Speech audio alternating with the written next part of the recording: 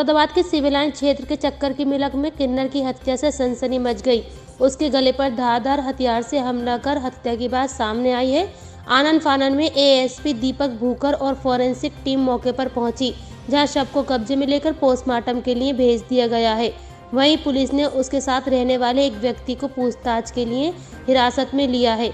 शनिवार को civil line के चक्कर की मिलक में रहने वाले एक किन्नर अकिल उर्फ़ सपना की सुबह 10 बजे उसके घर में ही हत्या की सूचना मिली, जिसके बाद मौके पर फॉरेंसिक टीम ने अपनी जाँच शुरू कर दी।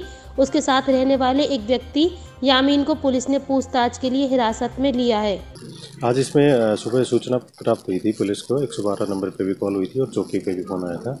उसमें ये पता लगा कि जो घर के अंदर है, एक डेड बॉडी मिली है और उसका जो गला है वो रेंदा हुआ है सर क्या किसका शव है ये? जो नाम बताया वो सपना है और ये घर में अकेली रहती थी। इनके साथ एक हेल्पर रहता था।